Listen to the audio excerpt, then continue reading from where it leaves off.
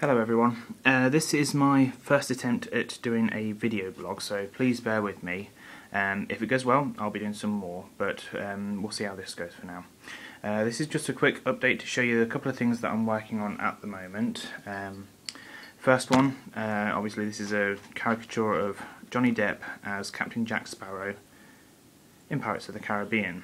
Um, it's done in Pro Markers um, as you can see it's still got quite a bit of work to do, I've still got some of the pencil lines there and I've got to work out the background but that's how it's going so far.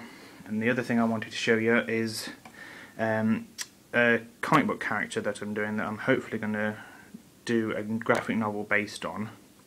Uh, it's a female superhero named Nemesis who's like a, a who disguises herself as like a demon type character but more on that when I get more details worked out.